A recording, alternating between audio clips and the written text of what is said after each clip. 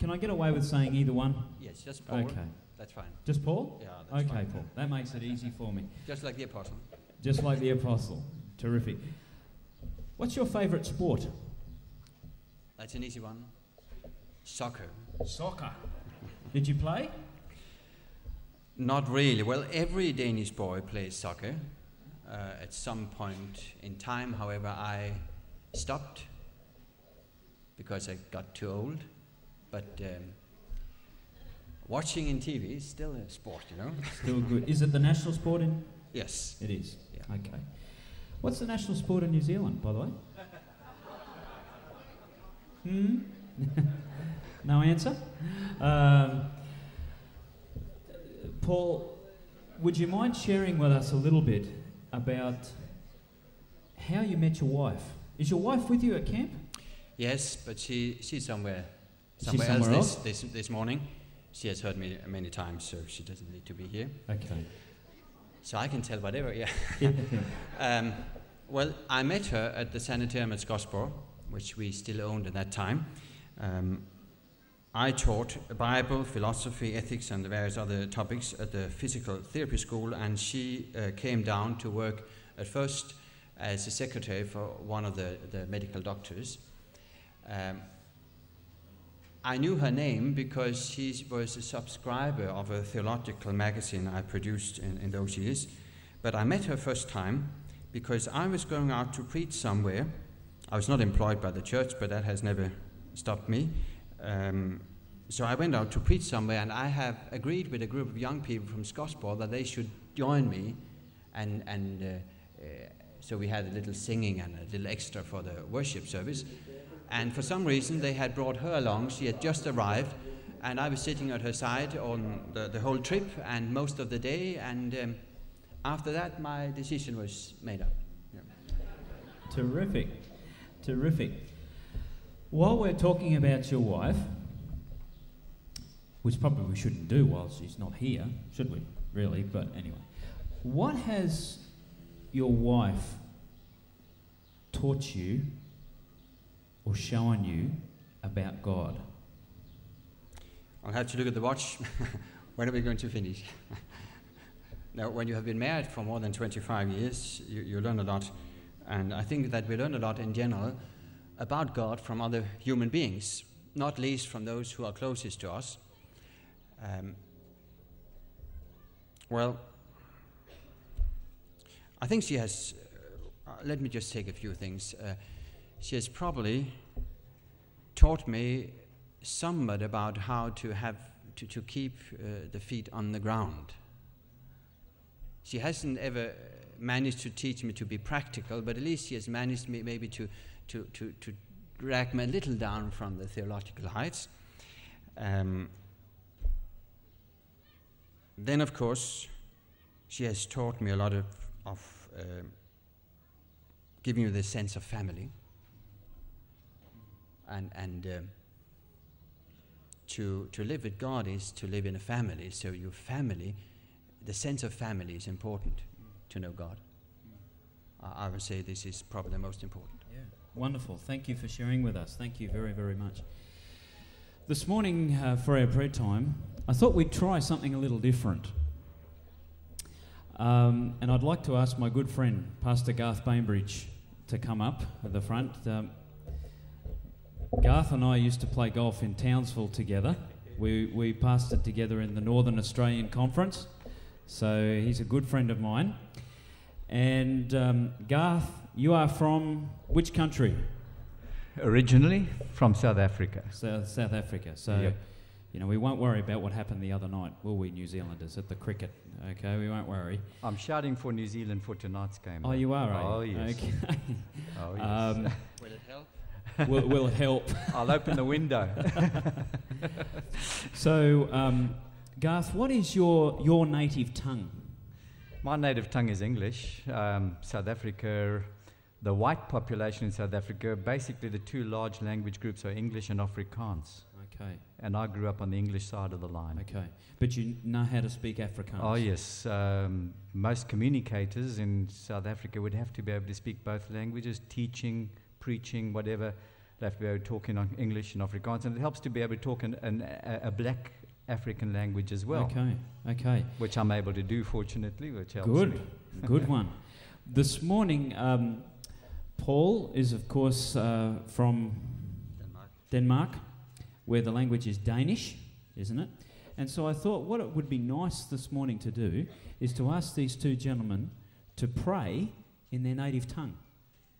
Okay? Um, and then I'll close with an English prayer. And so hopefully, this, um, although you might not be able to understand uh, what is being said, we still know that we pray to the same God, don't we? Mm. And He hears us no matter what language we use. And so I trust this will be a very meaningful experience for some of you, or for all of you, this morning. So, um, Paul, would you like to lead us in prayer? O store Gud, når jeg er din verdens skuer, som du har skabt med al magtsbud. Der bryder sjælen ud i lovsangslyd, o store Gud, o store Gud. Vær sammen med os denne formiddag i vores bibelstudium, vi beder i Jesu navn. Amen. Ons hemelse Vader, dit is vir ons 'n voorreg om U wat God is van die heelal, Vader te kan noem. Wetende dat dit beteken dat ons elkeen deur U uh geken is, dat U ons liefhet soos 'n vader sy kinders liefhet. Ons bid dat U nou ons sal seën soos ons om U woord vergader. Mag dit wees dat dieselfde Heilige Gees wat die boodskap in die eerste plek aan Daniel gegee het vir ons dit nou sal duidelik maak aan ons. Our Father in heaven, we thank you that you are a God that understands each one of us so personally, so individually, so uniquely. And we thank you, Lord, for diversity. We thank you that you have created so many wonderful, wonderful things in this world. And we thank you, Lord, for the nations that make up this world. We thank you that although we might not be able to understand what somebody else is saying, we know that you do. And we thank you, Lord, that you don't look on the outside, but you look on the inside. And Lord, we ask a special blessing on Pastor Paul this morning as he leads our study. We thank you, Lord, for him. We thank you for the role that you have given him in your church. And we ask that a, a very special blessing will rest on he and his family today. And so bless us now as we study your word together. In Jesus' name. Amen. Amen. As probably not many of you realized, I, I fell for the temptation in my prayer to quote one of the songs we just sung, How Great Thou Art. Because actually, though it is not stated uh, in the hymnal, the song is Swedish. It's a Swedish folk melody, and as Sweden is a neighboring country to Denmark, it is very well known in Denmark as well, of course. Um, it is a Swedish folk melody, and the text, the Christian text, was produced by uh, a Swede who actually was a member of the Swedish parliament. Now, how come it has ended up uh, with an American author and composer? Because he heard it somewhere in Russia, it's true, and he went back to the States and he bought the copyright. But it is not his production. Store Gud, når er jeg din verden skuer, som du har skabt i kraft af al magts bud. And I'll spare you from the rest. but if you get Manuel to sing it, you're really, if he hasn't sung it already, I know he has it on one of his, his CDs, and that's a, a wonderful addition. Worship conquers death. Now, we have looked at the, the basic for worship in the book of Daniel. Now, today and tomorrow, we will move a little further and we will move into some of the texts that are regarded as maybe a little more difficult. As you will notice, I'll not so much go into the details and stop there as look at the, the scope. Worship conquers death. We have two stories in the book of Daniel, in Daniel 3 and Daniel 6, that are very similar. In Daniel 3 and Daniel 6, the issue is prayer and worship. In Daniel 3, the friends of Daniel are thrown into a fire furnace. They are actually sentenced to death because they refuse to pray to an idol. In Daniel 6, the well known story Daniel is thrown into the lion's den because he's praying. So, prayer and death, worship and death, is linked together. Prayer and worship is a matter of life and death. Now, in our country, your country, worship is not a matter of life and death. But I tell you, in your personal life, prayer is a matter of life or death. There is a difference between the two chapters. In chapter 3, it is a matter of a public prayer. In chapter 6, it's a matter of Daniel regularly praying. He simply goes on doing what he has always been doing. In chapter 3, it is a matter of refusing to commit a sin. And by doing that, lose your life. In chapter 6, it is a matter of continuing to do what is your duty and your pleasure in your relationship to God, and that may cost you your life. In chapter 3, everyone would be able to see would the Jews worship or not. And that is a challenge. But it's certainly also a challenge for Daniel because, of course, these, these enemies, the satraps and ministers, they were gathering to see, but actually what he did was quite private. Nobody, as far as he was concerned, would need to know whether he stopped praying. That's a completely different challenge. Now, you could say, well, it's only a matter of 30 days without communing with God. Nobody will be able to see it. So why not refrain from it? So that's the difference, though there is the similarity. If we look at the characters in, in the two stories, there are also, of course, similarities. The friends and Daniel can be compared. The Chaldeans who were eating pieces of the three friends can be compared to the ministers or the satraps, or how we translate it, that were envious of Daniel and tried to get rid of him. And Nebuchadnezzar, king of Babylon, can be compared to the king of Medo Persia, Darius, or Darius. On the la- last one, actually, it shows that, uh, that there is a huge difference between the two.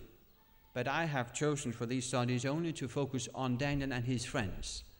If we had had time to do study on, on the kings, we would have learned a lot of how to relate to the non Christians, the rulers and other people, secular people in the world. Now, let's look a little more on the story in Daniel chapter 6. What is going on? I'm, I'm sure I don't need to repeat it to you. This is a children's story, and even though you are not children anymore, I guess that you all have been. That's one of the things that's difficult to avoid. And if you feel that, that the young people, they are uh, too noisy, too arrogant, too quick, too intelligent, that's how I feel when I am with my, my boys. I, I feel stupid for all that they know. Now, I'll tell you a secret. Whenever you meet young people, you're able to say to them, I know more than you. Now, I know more about what it means to be young than you know about what it means to be old. You have an advantage. Now, you have all been children. We know the, the, the story about Daniel in the lion's den. And we know that in the new reign of the Medo Persian Empire, Daniel was chosen to be one of the, the, the high ranking um, officers, you could say, by Darius and his enemies, other ministers, were envious and they tried to find some reason to get rid of him. They couldn't find in his administration or in his more life, so they went to religion. These people were not religious. They were not attacking Daniel because he had another religion. So, in one sense, it was not a matter of, of religion. Not, no religion sentiments. They simply were jealous. And then they used religion. That is often the case. Religious wars may be labeled religious wars, but just as often they are simply a matter of the wish for power. Now, they went to the king, who certainly does not come out at the beginning as a very wise man. Now, he actually had tried to, to change the administration. You know why? Because he, he didn't want to be bothered too much. And that's, of course, an ambition for every administrator because what do you think your, your president likes the most? That people are calling him and complaining, or that people are leaving him alone? And it is always nice to, to be able to put some people in between as a buffer zone. Now, whenever you have a complaint, go to this person. So, so that, that was something of what he was doing. And he was not too wise. So they went to him and they fooled him into this stupid decree, this stupid law that could not be changed, that for a certain short period of time, where there was religious confusion, probably after the takeover of, of the new empire, that all, pub- all prayers should be directed to Darius as a symbol of the Medo Persian Empire. It was foolish and he realized it, but only later. And then they caught Daniel praying. Let me read to you a, a, few of the verses from the chapter so that we are uh, digging into the biblical text. In New International Version, verse 10 from chapter 6. Now, when Daniel learned that the decree had been published, he went home to his upstairs room where the windows opened toward Jerusalem. Three times a day he got down on his knees and prayed, giving thanks to his God. Then uh, there's a little uh, strange translation here, just as he has done before, uh, but that is to indicate that was his usual habit. These men then went as a group and found Daniel praying and asking God for help. So they went to the king and spoke to him about the royal decree. Did you not publish a decree that during the next thirty days, anyone who pays, prays to any god or man except to you, O king, would be thrown into the lion's den? The king answered, The decree stands in accordance with the laws of the Medes and Persians, which cannot be repealed. And then they tell him about Daniel. Now, there is a phrase here that is not really uh, telling what is in the text. When it says, These men went as a group and found Daniel, so they went to the king. The best is probably to say they hurried, they hastened. They were frantic. And, and all through uh, this part of the story, actually, you would find if not in translation, then in Hebrew you, or in Aramaic, you would find uh, expressions that indicate the frantic mood of these people. They were eager to get things going. While whenever Daniel is mentioned, there is the sense of calmness. What does he do? He heard the, the decree. He calmly goes back to his home and do what he has always done. prayer should provide that kind of calmness in a frantic world. Sometimes we are so unrestful, so, so eager to have things done, so stressed that it is hard for us to be alone. Sometimes we are bothered with our sins, so it is hard for us to be alone. We dare be alone, dare not be alone. God wants us to stop, to pause, to be calm. If we're bothered by sin, to confess it. Receive peace within.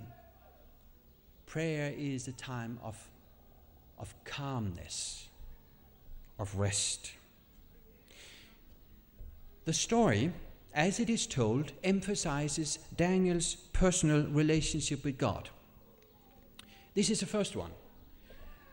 And this is a, you, you're able to find that out actually by yourself if you, if you look for it. God is mentioned in chapter 6 12 times. Now, you may say, well, God is there all the time. Yes, but 12 times God is, or God is explicitly mentioned. Twice it's a reference to any God. You are not to pray to any other God. The other times, eight of the times, it is directly linked to Daniel.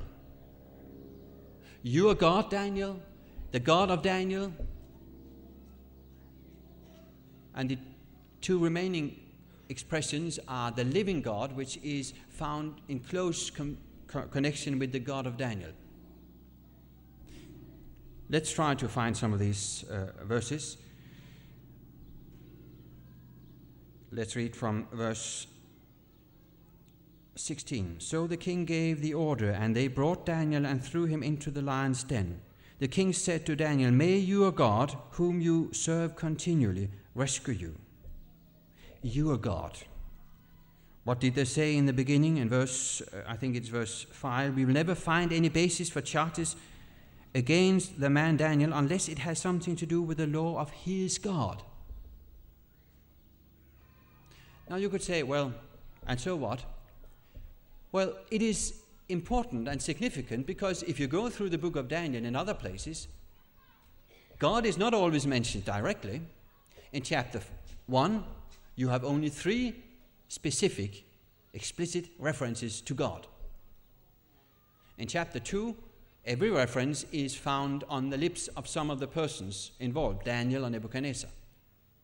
So if you go through and count the number that, of times that God is mentioned, you will find that chapter 6 is unique. And it is unique that it is your God, his God, the God of Daniel. It indicates his personal relationship, just as do the prayer, the praying. The next point I want to make from this chapter and the story, and I see that we got started a little late, so you will be hungry in the end. Let me move on. You find in this chapter two kingdoms in conflict the kingdom of God and the kingdom of the Medo Persians, or the, the human empires. Two kingdoms, two empires in conflict. Darius reaches the conclusion in the end that God is a living God and he endures forever, his kingdom will not be destroyed. But the two kingdoms struggle when it comes to their laws the Medes and the Persians had laws that could not be demolished. But God also has laws that cannot be demolished. And sometimes the laws and, of, of human empires and the laws of the empire of God clash. And this is what is happening here. And the final element I want to point out in chapter 6 is that it is also a matter of judgment. Daniel is condemned according to human law, he is condemned to death. But when Darius finds him uh, after the night of trial, Daniel replies to his shout whether he is alive. He replies with the words in, I think it is verse 21 and 2 O king, live forever. And this is the first time, the only time, by the way, that Daniel and his friends address any king with this phrase of politeness. Because in this instance, Darius has actually understood that he's not to live forever, and then you're able to be polite. Daniel continues. I, I, I have uh, struggled with the wind up here. My God sent his angel, and he shut the mouth of the lions. They have not hurt me, because I was found innocent in his sight. So these are three themes of the story the personal relationship with Daniel and God, two kingdoms, two empires in conflict, and their laws in conflict, and then the theme of judgment. Daniel is found innocent. Let's move from chapter 6, the children's story, to chapter 7. And you may say, what is the relationship between chapter 6 and chapter 7? I hope you will see there is one. What is the relationship with the children's stories and these apocalyptic visions, these strange symbols? Visions for adult people. Now you'll find, I hope, that the, the narratives in the book of Daniel illustrate the prophecies. What do we find in the book of Daniel in chapter 7? What happens? First of all, you have earthly kingdoms, the beast of prey that, that rise out of the sea. The word that is used about lifting Daniel up from the lion's den is actually the same in the close of the previous chapter, is the same that is used about the, the beast coming above the sea in chapter 7. Next, after this view of history, you have a heavenly court scene. In that heavenly court scene, the beasts are judged, and the authority is given to a man. Now, the phrase son of man simply means a man. This is Semitic usage. If you want to accuse someone of being a fox, you would say in any Semitic language, Oh, you are son of a fox. Now, a son of man means he is simply a man. And, and compare for one moment these beasts of prey with a man. And the last beast of prey ha- has teeth of iron. Who will win? Well, I would prefer not to meet any lion, bear, or panther, or any animal with teeth of iron. And so it is here that, that Jesus is presented here just as a man, indicates, among other things, that he is the seemingly weak part. In the book of Revelation, you have Jesus, the Son of Man, presented as a lamb that is slain. And when that lamb faces the monsters of Revelation, you will know, if you saw the movie, if it is produced as a movie, you would know that the lamb has no chance, it seems. So here, Jesus is the non violent, the man who's not using force, and he is given the authority. You know why? Because he's the only one who has never used his power for himself. Therefore, he's the only one who is worthy as king forever. And when that happens, after that, those who are his, the saints of the Most High, the saints of Christ, will be given authority and kingdom with him. And then we have the realization Jesus is coming down to earth, the everlasting kingdom is established, and they will be worshipped forever and ever. Let's look at that worship in chapter 7. We're not so much concerned about the historical prophecies, but with the worship. There is a worship going on now, and there is a worship to come. This is a worship going on now, as you find it on the screen from Daniel 7:10. A river of fire streamed forth before him, that is the Ancient of Days. Thousands upon thousands served him, myriads upon myriads attended him. The court sat, and the books were opened. The general setting is the setting of worship heavenly beings are worshipping God. There is also a worship for eternity mentioned in the chapter. Let me read to you from chapter 7, verse, verses 13 and 14. Then I saw someone like a son of man coming with the clouds of heaven. He had come to the Ancient of Days and had been led into his presence. Authority, glory, and kingdom had been given to him. All people, nations, and tongues will worship him.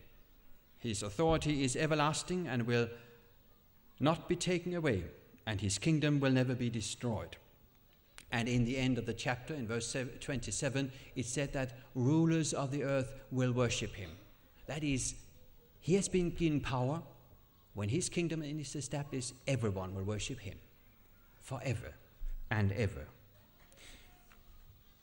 Now, I told you that the narratives and the visions go together. I think I will be very brief on this one because of time. I just want you to, to realize that there is some patterns within the stories that are repeated in the visions. Do you know that the first that happens to Daniel and his friends is that they go through an investigation? They have a trial period of 10 days and then there is an investigation. Are they fit? Next, they have an investigation, an examination after three years of study, and they pass the examination. Actually, the reason they are put in that position is that the people had sinned. The people was apostate. For that reason, God gave them into the hands of Nebuchadnezzar. And Daniel and his friends, who were personally not the reason for, for, for the sins of the people, they were brought into tribulation and wrath. They were examined, investigated, and then God delivered and gave them the victory. That is a pattern you find again also in the prophecies. Let's move on to, to chapter 6 and 7 in particular. And let me point out to you some of the similarities. Now, you know the story in chapter 6, you know the basic outline of chapter 7 in chapter 6, you have kingdoms in conflict. That is what you have in chapter 7 as well. Not only one kingdom, but four. But basically, it is the same a clash with the empire of God. Are lions in both places, by the way. And next, there's a question of worship. May the God whom you continually serve is what Darius says to Daniel rescue you. And then we are moved to heaven and we look at the continued service, worship of God there. Let's read chapter 6. Three times a day, Daniel got down on his knees and prayed, giving thanks to God. And as we read, I quoted, May your God, whom you continually serve, rescue you. And you will find that that word, serve, the Aramaic word, word, is just the word that is used in verse 14 all peoples, nations, and tongues will worship him or serve him. So there is a link in worship. We have another link between the two chapters. We have the kingdoms that are in conflict, we have the issue of worship, then we have laws in conflict. That is part of having kingdoms in conflict. A kingdom is defined by a certain set of laws. In the case of the Medo Persian Empire, we have specific laws uh, that could not be changed. In chapter 7, you have a little horn mentioned in prophecy, and that little horn, it is said, will attempt to change times and law. You know that phrase, don't you? If you have ever been to an evangelistic campaign and there still were people at the end, you will note it. You've heard this before.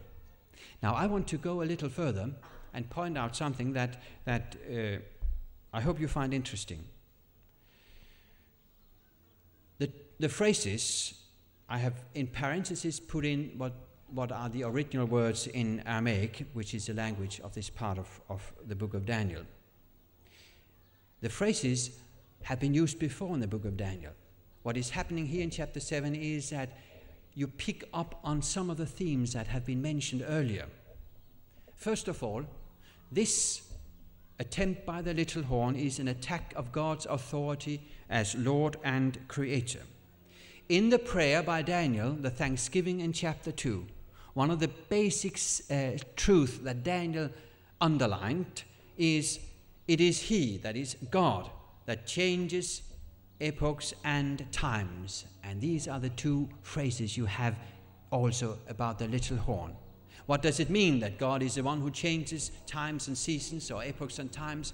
It means that God is the one who is in charge of history. He has created the world. He is the Lord and Master. To make the attempt to change times and law is to try to take the position of God.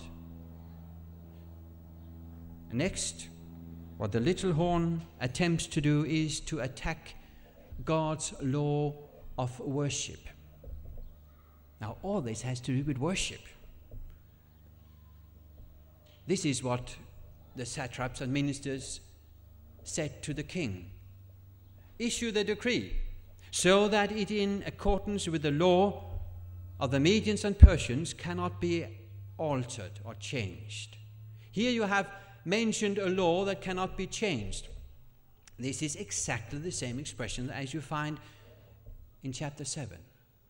So when you read Daniel as a continuous flow, you will realize that in chapter 7, there are references back, and by that you may come to realize what this attack is all about. This is attack on a law established by God as creator for worship. Look at the law of God. Where in the law of God do you find a specific law that is an expression of God as a creator and has to do with worship? This is the Sabbath. Let's move on and try to, to, to summarize the, the similarities. We have kingdoms in conflict, we have continuous worship, we have unchangeable laws that are attacked, and then we end up with the judgment of the saints. And let's read from chapter 6 and compare with chapter 7. In chapter 6, as we have read it once, O King, live forever, is what Daniel replies to his cry. My God sent his angel and shut the mouth of the lions. They had not hurt me because I was found innocent in his eyes. And then I have quoted in this case directly from the New International Version, I think it is. It's not simply my translation, from chapter 7, verse 22 Until the Ancient of Days came and pronounced judgment in favor of the saints of the Most High. So, so you have a parallel once again. Let's, let's pause and stop with these texts from the book of Daniel and ask ourselves what do we learn? We are Seventh day Adventists, we want to worship in the end time. First of all, it is once again emphasized, and you will realize there is some repetition here. The basic foundation has been laid. Once again, it is emphasized that worship public worship even is based on the private, personal relationship that you and I have with God. Daniel is an example. Imagine it would be said about you and me, you are God, he is a her God. That it would be so, so linked together that people could hardly think about you without thinking about your God you serve. Because you, even if nobody watches, regularly have communion with Him in the calm hours of prayer. Next, still there is a doctrinal content to that worship. The Sabbath is to be the symbol of our personal relationship with our Creator. The Sabbath is also what gives us part of a doctrinal content when we worship God, because it tells about the Creator. He's not just anyone. Next, when you pray, you are in good company. Even when you pray alone, there is a heavenly prayer meeting. Angels are praying with you, thousands upon thousands, myriads upon myriads. You are always for, eh, eh, in a prayer meeting. You have a, a heavenly prayer community, even when you are alone. And so, by uniting with that heavenly prayer community, you are preparing for worshiping in eternity. Now, in the book of Revelation, it is singing. You know, you, you have to learn to sing with the angels of heaven so that you can join the heavenly choir. In the book of Daniel, it's praying. Learn, learning to pray like Daniel so that you once in eternity will be able to go to prayer meetings with the heavenly beings. So, worship conquers death. Death matters less when we are in that heavenly communion. Finally, remember there is a difference. Daniel was found innocent in the eyes of God.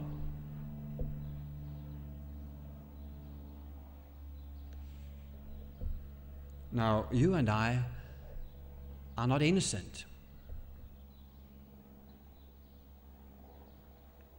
I am not. I know if I ask you if anyone would put up your hand, then I knew it wouldn't be true. Because we are humans, we are sinners. We are not able to stand on the day of judgment on our own, and it was never intended to.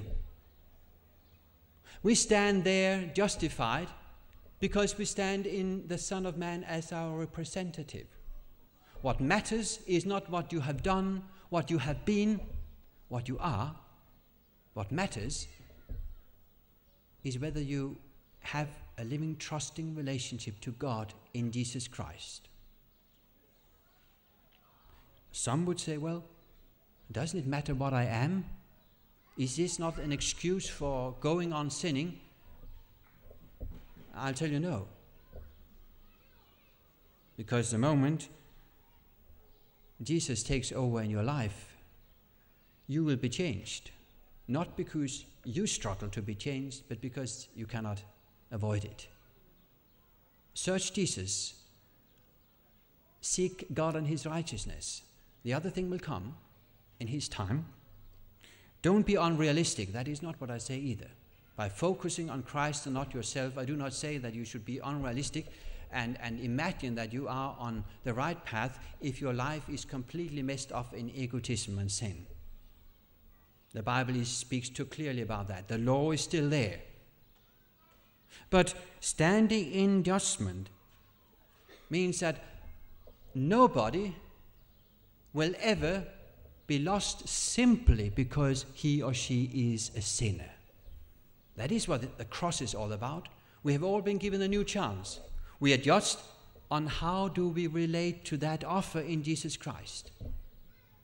And the saints of the Most High, they belong to Jesus. They are His. And don't fear because you're a sinner, because you're committing wrong.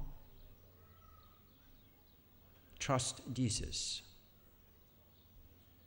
And don't imagine then that this trust means nothing, that it won't change you. Well, it will. It already has. Worship in the end time. Our public worship should be an expression of our personal relationship with God. We should remember the doctrinal content, because if not, it could be any God. We should be comforted by the thought that when we pray, we are in company with heavenly angels preparing for eternity. And even if you are completely alone, remember, they are praying too. They are also praying for you. And if you are scared when looking at your own life, because you feel like a sinner, then you are a sinner. But at the judgment day, you are standing in your representative, the Son of Man, Jesus Christ, and He is all you need. Let us pray. Father in heaven, help us to grow in our understanding of what you want in our lives Help us to grow in our study of the Bible. It is so rich, there's always more. there's always more. Bless us in that growth and help us to realize the fundamentals that we stand justified in Jesus Christ as long as we maintain that relationship with Him. Let it not be an excuse for deliberate rebellion or sinning, but let it be the source of joy, of assurance, of power in our lives, and help us in times of need to remember that we have a prayer community in heaven. We may not see them now, but by praying to you, we prepare for the day where we will join the angels in everlasting worship of the Son of Man. Thank you for your love for us. We pray in Jesus' name. Amen.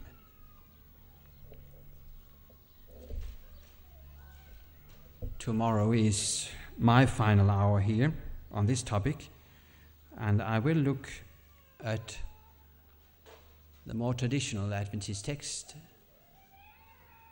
from a somewhat other perspective, put it into the context of worship. Thank you.